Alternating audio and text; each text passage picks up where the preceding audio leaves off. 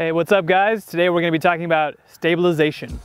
Next to the lens choice and the camera choice, the stabilization that creates the motion of your video is extremely important. Whether you're using a glide cam, a slider, a monopod, or any other type of gear, the feeling that that creates and the way that it moves the camera is gonna create a certain emotion in the viewer. In a Transformers movie by Michael Bay, when they've got the camera sweeping through in a helicopter shot and zooming in on the person as the car is exploding, you know, it creates a certain feeling versus 2001 A Space Odyssey when it's just that shot of the column. Or in a Bourne Identity movie where the camera's really shaky and it feels like you're in the action versus something like Lord of the Rings where you're like gliding over the hills of Middle Earth.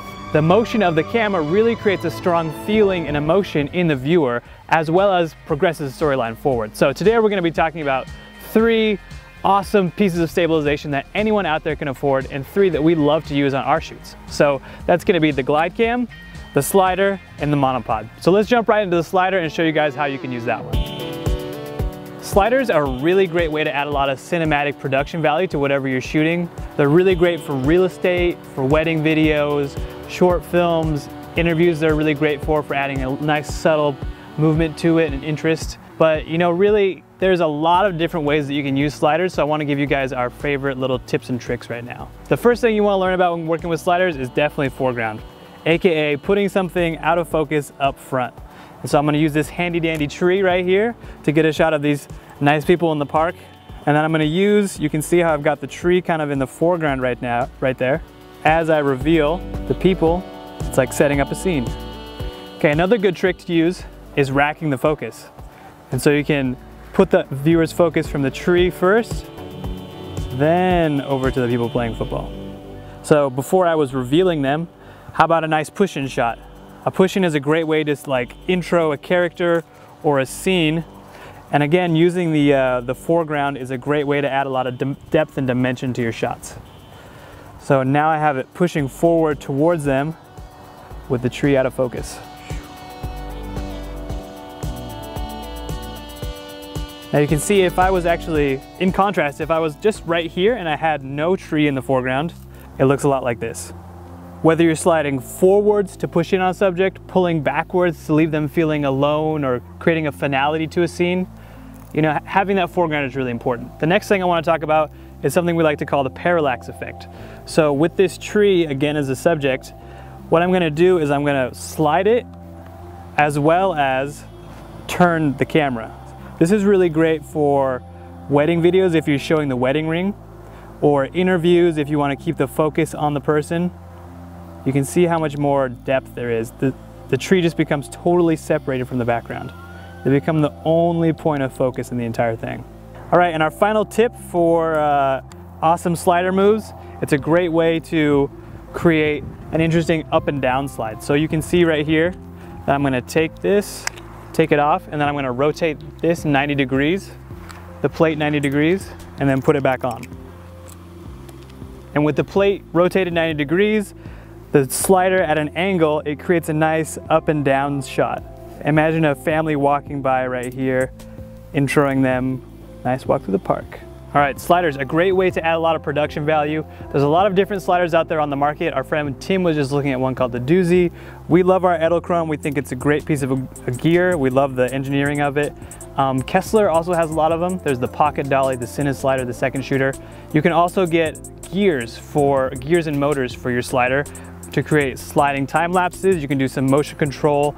If you have the slider going at the same rate multiple times, you can interstitch different shots in there and create a really cool effect. So sliders, definitely recommend them. Whether you're getting a cinematic wedding intro shot or you're pushing in on that character or you're pulling out for that final shot in your short film, a slider is a crucial piece of gear. From there, let's hop over to the monopod and see what that's got to offer us. Here's our monopod. We've got the Manfrotto 561 BHDV. It's got a nice fluid head. It's got feet on the bottom, and in rare cases, it'll even stand up if there's no wind around. But don't rely on it. Because of their quick, light, easy to maneuver, small spaces, tiny corners, monopods are really great for weddings, for events, for corporate work, and for anything with a lot of travel and movement is gonna be needed. Anything run and gun, I would really recommend a monopod for. So let's jump into a couple quick tips and tricks for monopods and we'll get on our way. There are a couple cool things that a monopod can do that a tripod really has a lot of trouble with. One of them is pushing in. So check it out. You get a little bit of foreground here with the flowers, then I can push into the house, and just like a slider without all the, uh, the legs, you get this awesome shot. Another great tip for the monopod is to use yourself as a tripod. So imagine you've got this one leg here, but then you've got your own two legs. So you add a couple points of stability, throw the arm underneath, grab right here and right here, and then your wiggly shot instantly becomes perfectly stable. So adding more points of contact between yourself and the camera when holding the monopod can make a kind of shaky wiggly shot into a perfectly static stable shot.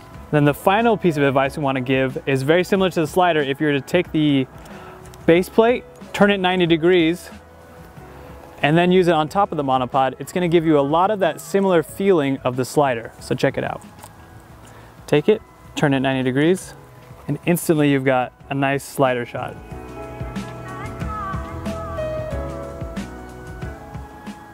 As you can see, monopods have a ton of versatility. You can get creative in so many ways with these guys on set.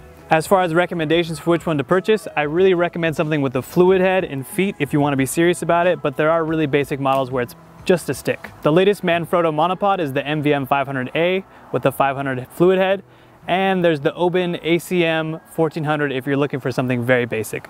They range in prices from 250 to about 50 bucks. Either one is a great deal, jump on it. Let's hop over to GlideCams and see what we can do. The monopod, as you guys can tell, is an incredibly versatile tool. It works really well in really tight areas and it's just really easy and fast and just on point. It's a great piece of gear. Next thing we're gonna look at is the GlideCam. This is the GlideCam that we've got. It's a stabilized ball bearing system that pivots it and counteracts the weight using these weights here at the bottom with the camera up at the top. Really simple system, but it really revolutionized the game back in the late, early 70s, I think, when it came out.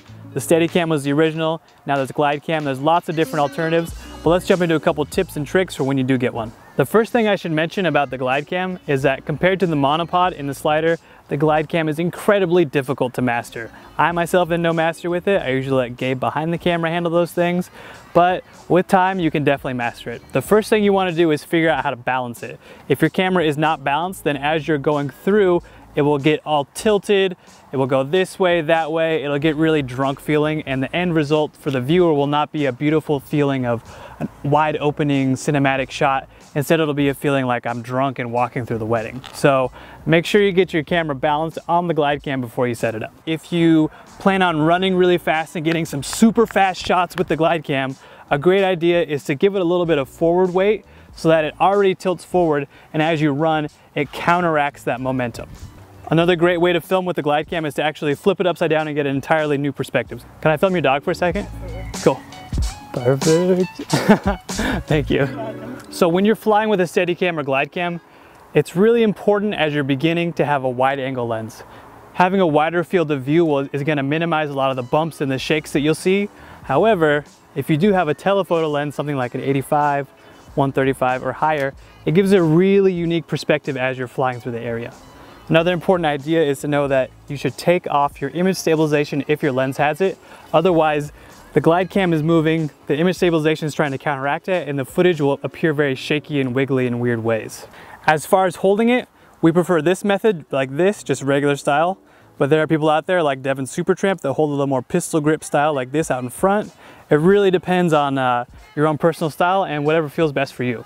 It's very common for your arm to get tired as you're holding the glide cam, so they actually make whole vest rigs, which has like a, an arm with like a spring in it that will hold it. So if you've got something much bigger, imagine you've got a red on here with a follow focus system and a monitor, you probably want one of those for longer shoots because you don't want to try and handhold 40 pounds as you're flying through the set.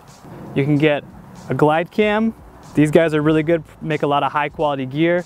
You can get a, uh, a steady cam Whatever you get, make sure that it's a lot more customizable. We've seen issues where people will buy knockoff glide cams or knockoff steady cams and you can't really adjust things as well as you would need to to get that perfect fine tune to make sure that the camera is perfectly stable. If you cannot fine tune the, the glide cam or the steady cam, you're gonna have a lot of issues later on when you try and put a bigger package on there and try and move it comfortably through the scene, but you can't fine tune it and it's all wobbly and wiggly and it just causes issues. So whatever you get, I really recommend you make sure that's something you can fine tune.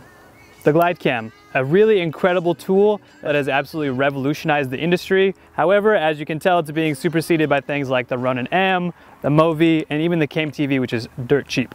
But whether you decide to use the GlideCam, the slider, the monopod, or any other piece of equipment on your set, we really recommend really thinking out exactly what your shot is gonna be and what kind of emotion that's gonna put forth towards the viewer. Another quick tip that I want to talk about is having a standardized plate. We like to use the Manfrotto plates, and so we've got this Manfrotto plate that will connect our cameras to either the glide cam, the slider, or the monopod, which saves invaluable time on set. So whatever system you end up going with, make sure that getting in between all of your pieces of gear is as easy as can be. So with that being said, you know, I hope you guys learned a bunch.